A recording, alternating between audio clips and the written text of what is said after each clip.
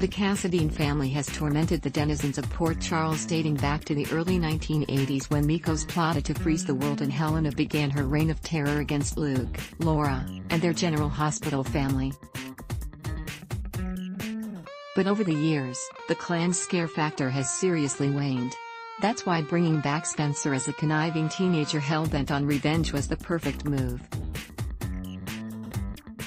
He's the Cassadine villain the show needs. General Hospital, key casting for the plot to work, the soap had to cast someone competent in the role, an actor who could hold his own opposite the likes of Maura West, Ava Jerome, Genie Francis, Laura Collins, and Marcus Coloma, Nicholas Cassadine.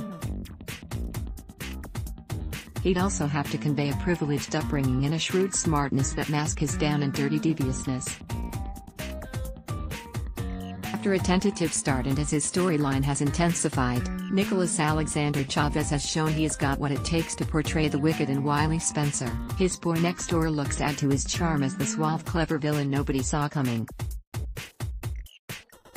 GH, perfect motivation helping the General Hospital story along has been Spencer's motivation, the things that transformed him from precocious little boy to calculating young man. There has been plenty of it. His father pretended to be dead for years while keeping Spencer in the dark. His future stepmother, Ava, double-crossed him after promising to testify against his arch-enemy Valentine Cassadine, James Patrick Stewart. Both deeds pushed Spencer over the edge, fueling his revenge for payback. He's become consumed with making Nicholas and Ava hurt like he is hurt and, if possible, even more. General Hospital, Trouble Times 2 An unexpected touch in Spencer's scheming plot has been the addition of his devious girlfriend, Esme, Avery Kristen Pohl. The character hit the ground running, setting Ava's car on fire, proving she's got a lot of Helena in her. Together, she and Spencer have the makings of a diabolical duo, a couple who can run rampant around Port Charles as a and Clyde of evil.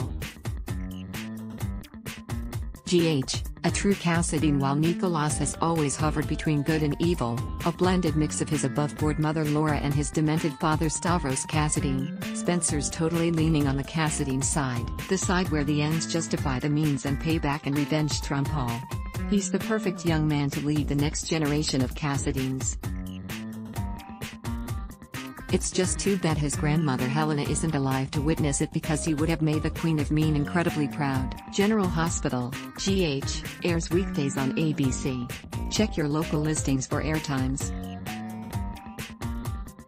For more about what's coming up in Port Charles, check out all the latest that's been posted on GH Spoilers, and for an in-depth look at the show's history, click here. Ad block test, why?